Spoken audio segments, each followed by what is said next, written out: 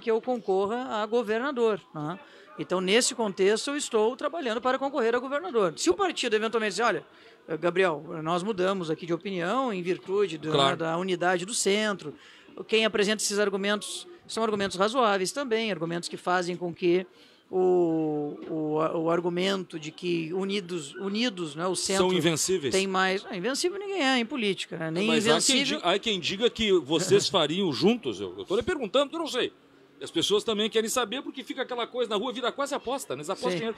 É, é, é, é, Pô, eu não ganho nada. Nada, apostam é. dinheiro em cima de mim, eu não ganho Não, mas é sempre assim, né? É sempre assim. É, isso é um jogo clandestino. aposto no Gabriel, aposto no... Mas eu, eu digo assim, ó.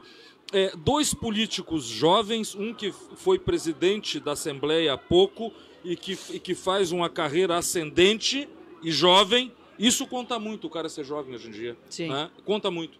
E aí, dois políticos de áreas, de campos ideológicos, que têm algumas semelhanças, mas na verdade nem tantas.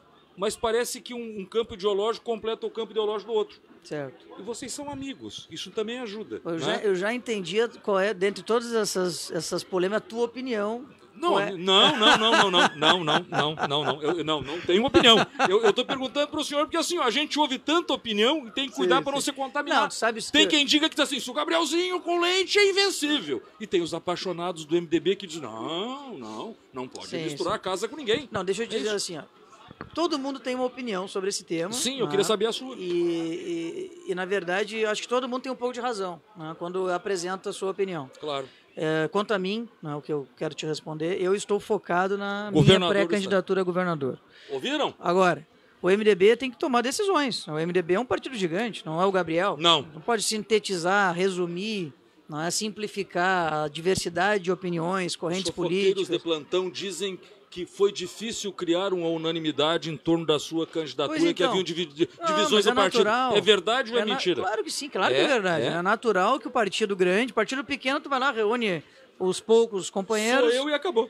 e diz, olha, tá, tem aqui fulano, Beltrano, e aí é mais fácil achar unidade. No MDB, que tem 240 mil filiados, 135 prefeitos. estado, né? No estado. 135 prefeitos, 124 vice-prefeitos, quase 1.200 vereadores. Fora o- todos os núcleos de mulher, juventude, causa animal, ah, enfim... eh, Apaixonados cabos eleitorais. Tu É, Imagina, é. então assim, a- a- É nós máquina. temos o, o- o- nós governamos 40% dos gaúchos nos nossos prefeitos. né? Só o prefeito de Porto Alegre, por exemplo, um milhão e meio de meio gaúchos. de gaúchos. né? Que é 10% da população gaúcha só em Porto Alegre. né? E depois nós temos prefeito de Gravataí, de Alvorada, de Rio Grande, e temos prefeitos de cidades pequenas. Né? Tem o prefeito do Imbé aqui, né? tem o prefeito de Arroio do Sal, tem a vice-prefeita de Capão na Está prefeito agora em Osório, Charlo Miller, MDB. O Charlie em exercício, mas o prefeito É. Roger Capucci. É. Então, nós temos muitos prefeitos, muitas lideranças. Então, o que eu quero dizer para ti é o seguinte: quanto a mim, eu estou focado na pré-candidatura a governador, estou cumprindo a minha missão. Se o MDB deliberar em não ter a pré-candidatura própria, que também não é demérito para ninguém, ah, e eventualmente compor, bom, aí nós vamos, vamos, vamos ter que olhar esse novo cenário. Né? Mas o cenário que eu trabalho hoje é este, estou focado, vou para a convenção não é? e quero muito eh, concorrer a governador para daí poder apresentar as nossas ideias na televisão, nos programas eleitorais, nos debates e buscar convencer os eleitores que somos a melhor opção. Eu acho que agora o senhor fez o homem lá de Pelotas um indivíduo triste. Né? e esta moça, esta moça, nosso pré-candidato a governador, o Gabriel Souza, temos essa moça aqui em Tramandaí, Obrigada pelo moça. claro, que é a defensora, assim como não é, o deputado das causas animais, e é um nome novo lançada, a, não, já, já concorreu antes, mas que é um nome novo a- ao, ao, à Assembleia. E aí, dona Mari Bueno, o que, que a senhora acha desta... Bom, o que eu posso te dizer é que uma, uma mulher, quando ela decide que ela vai, é porque ela está pronta para ir. E É? eu estou muito focada, muito determinada, estou muito feliz com o partido também, que é um partido bem organizado.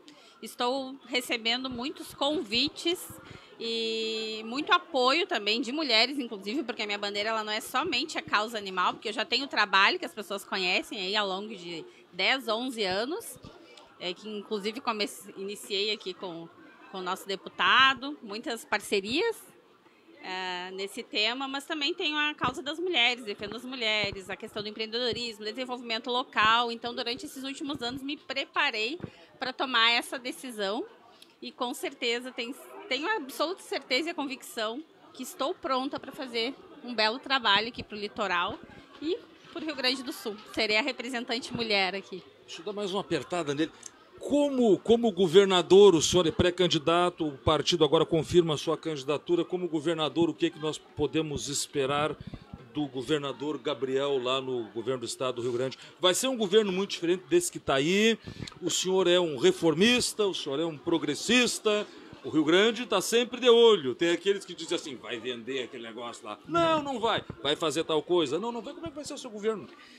Bom, na verdade, nós temos um ciclo como que se encerrou agora e tem que inaugurar um novo ciclo. Então, continuar fazendo as mesmas coisas, quando eventualmente as coisas não estão indo no rumo correto, é certamente algo que não vai estar no nosso script, mas nós vamos manter eventualmente alguma outra política, que são várias, que estão eh, dando resultado positivo. Agora, é importante dizer que o Estado está vendo novas demandas. Né? A sociedade gaúcha demanda coisas novas dos governantes. Depois de uma pandemia, né, É, que não foi fácil. não é só na saúde o impacto, é na economia, é na educação, dois anos sem aulas presenciais. Nós temos a questão da estiagem, que foi a pior dos últimos 70 anos. Não é? Então, o setor primário, agricultor, agricultora, precisa de apoio. é? Nós temos um, déficit logístico no Estado muito grande, devido à falta de capacidade de investimento do Estado, que agora foi revertido circunstancialmente pelas privatizações e perenemente pelas reformas. Não vejo mais grandes reformas estruturais a serem feitas, vejo uma grande reforma na educação. Nós precisamos atualizar, apertar o F5 na, na educação para colocá-la no século XXI. Então, tem uma série de demandas. Né?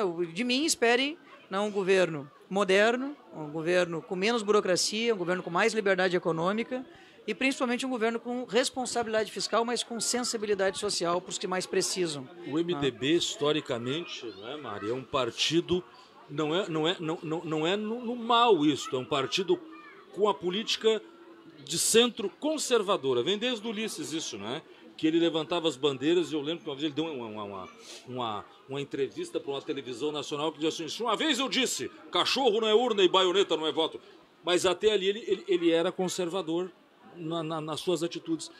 Espera-se um governo moderado quando o Gabriel subir lá a rampa do Palácio Piratini, caso o senhor seja o governador?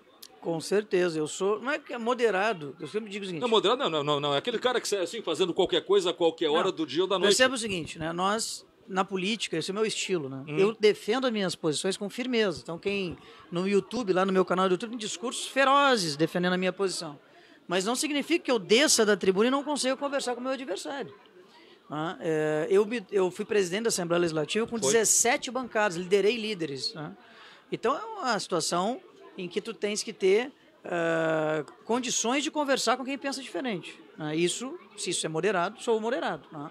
Eu não sou radical do ponto de vista de intransigir nas minhas posições né, de maneira invencível, né, de maneira irreconciliável.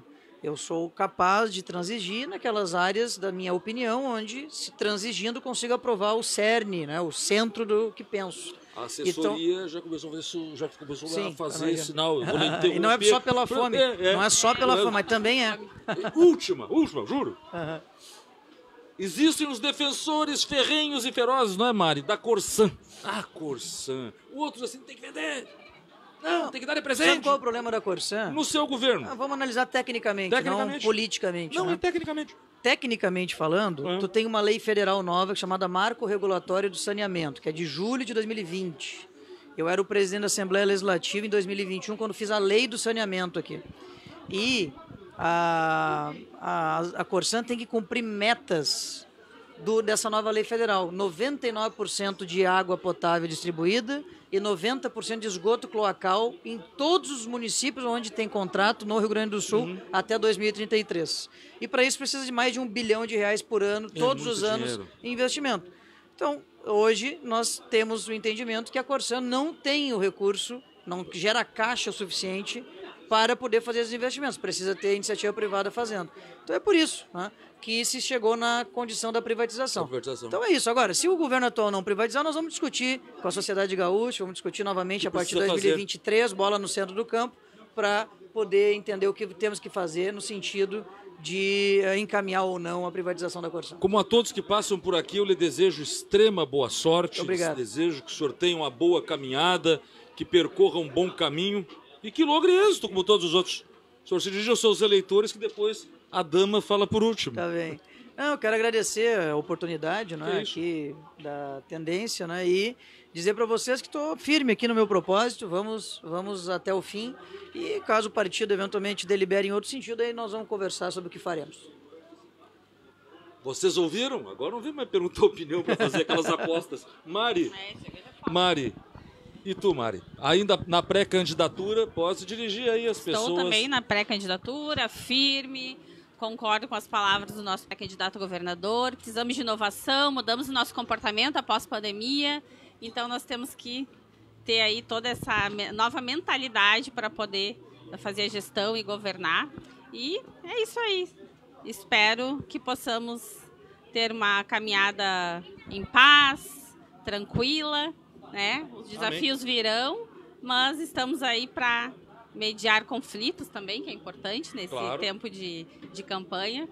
E eu tô aí firme e forte, seguindo aqui junto. E, e semana que vem estarei aqui novamente falando sobre os projetos aí da pré-candidatura. Então, felicidades, boa caminhada.